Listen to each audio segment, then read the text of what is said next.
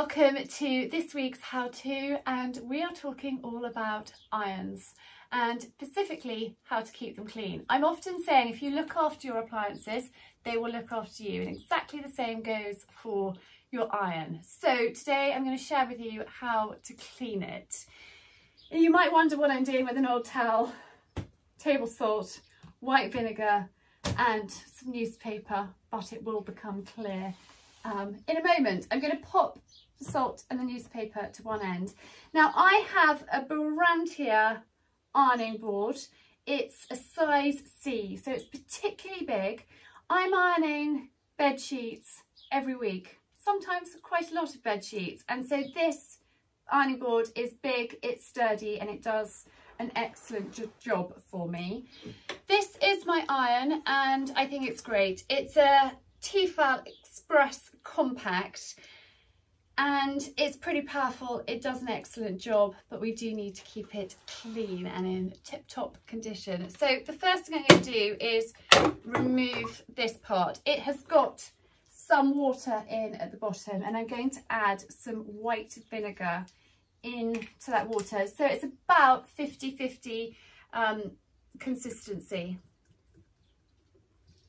50-50 water and vinegar.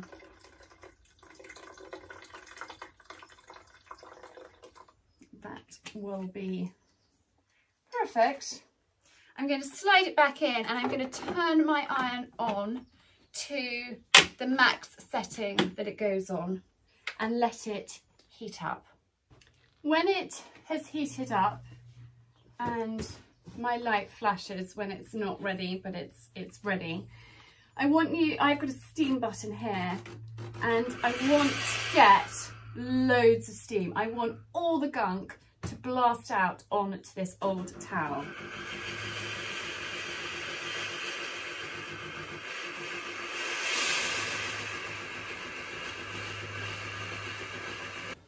might just need to get a little bit hotter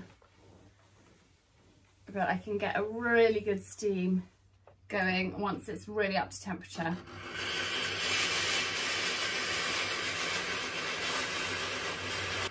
And I can smell the vinegar coming through my holes and I don't know if you can see, I have got some gunk building up there. So we will just try and get that off onto the towel and just keep pressing that steam to get it through.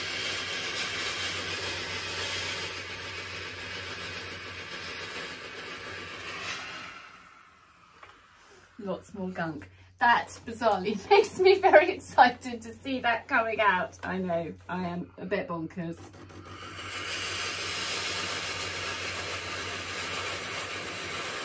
It's now spluttering. I can actually see the gunk physically fizzing out, which is absolutely excellent.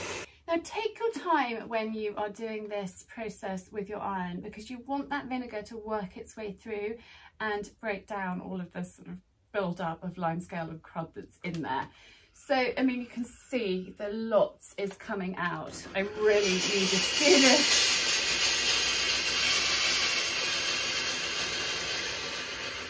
The vinegar can get the back of your throat, so beware of that. Look, it's fizzing out, which is absolutely excellent. I'm just going to keep going. And it might take 10, 15 minutes.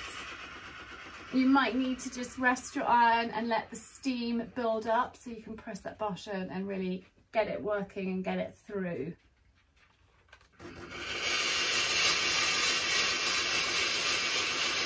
And also do it at different angles, don't just hold it up do it, you know, down as well.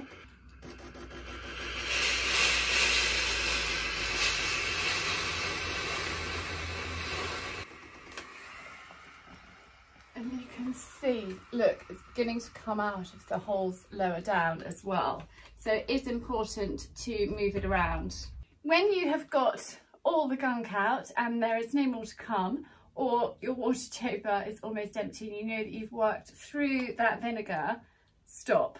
Now you can see the bottom of my iron is pretty filthy now, so I'm going to share with you the next step. I am going to take my, um, turn my iron off, take this off and just rinse it out and fill it up with fresh water. Pop the water back in and turn your iron on and you want it to heat up again onto a high heat. Wash that old towel. Mine is pretty filthy. Now I've also got some cotton buds and my white vinegar. This is when we use the newspaper and salt. So I'm just going to open up the paper and sprinkle over table salt, not sea salt. This is a job for table salt. When your iron is hot, work it gently in circular motions into the salt. And it will slowly start to work a lot of that um, off the bottom. It is slowly coming off. See, we're slowly getting there. I might pop a little bit more salt down.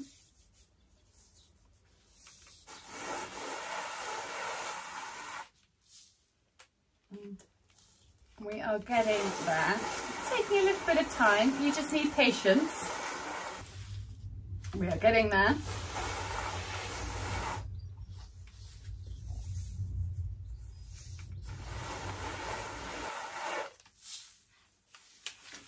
See, it is off. And actually, I've only been doing this for a few minutes. We are almost there. Let's just pop that salt back in the middle. So the salt is just working as, a, as an abrasive to just take off that lime scale build-up from the bottom that has come out of the holes.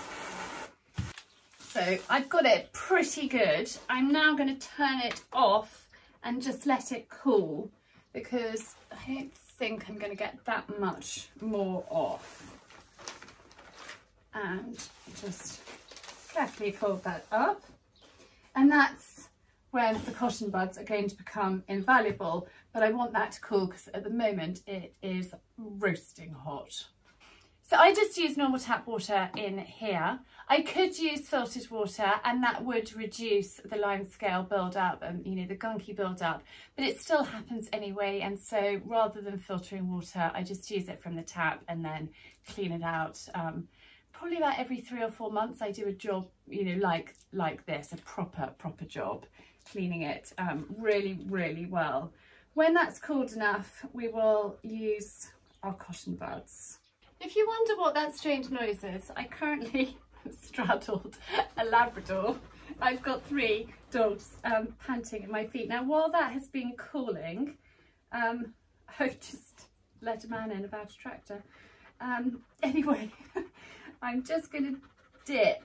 So I've put some vinegar into the lid and I'm just going to dip this in. It's still quite warm, so I'm being careful not to burn myself, but just work those cotton buds into the iron. You want your iron to still have a little bit of heat, but not really steamy hot because then the vinegar sort of works in to the holes and this is a really good way of just cleaning out the last bit of gunk that I couldn't get off.